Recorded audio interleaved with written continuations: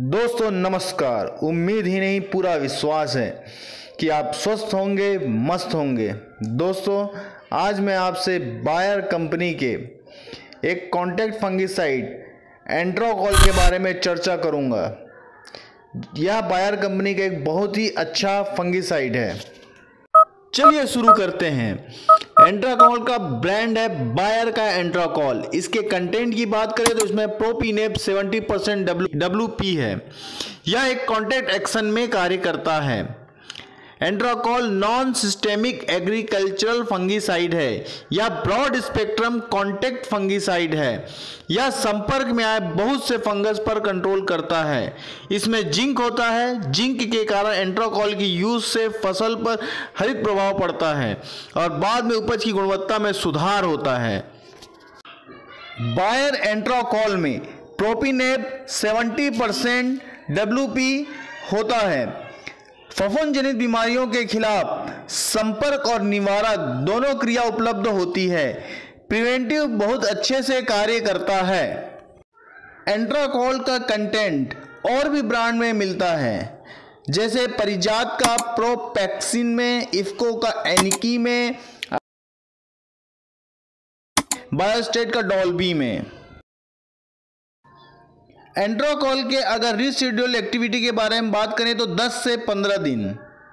Antracol के disease control के बारे में अगर बात करें तो powdery mildew downy mildew, early blight, late blight, die back leaf spot, fruit spot, apple scab. में अच्छे से कार्य करता है। दोस्तों, आगे बढ़ने से पहले एक महत्वपूर्ण बात। दोस्तों, अगर आपको यह वीडियो अच्छा लगा हो तो इसे लाइक करें और नीचे में रेड कलर में सब्सक्राइब बटन है, उसे ज़रूर ज़रूर दबाएँ।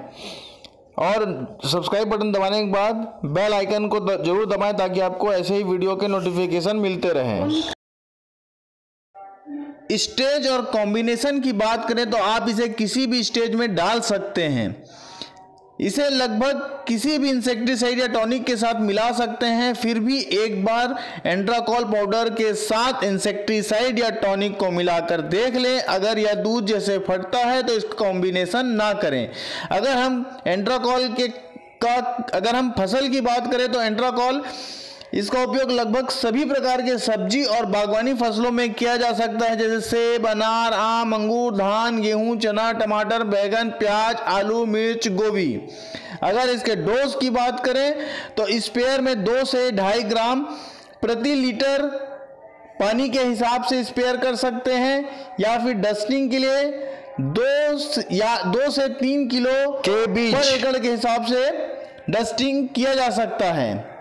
अगर हम इसके प्राइस की बात करें तो प्राइस हर मार्केट में ऊपर नीचे होता है। मैं इसकी अमेजोन की लिंक इसके डिस्क्रिप्शन बॉक्स में दे दूँगा। आप वहाँ पर जाकर के एंट्राकॉल की प्राइस देख सकते हैं।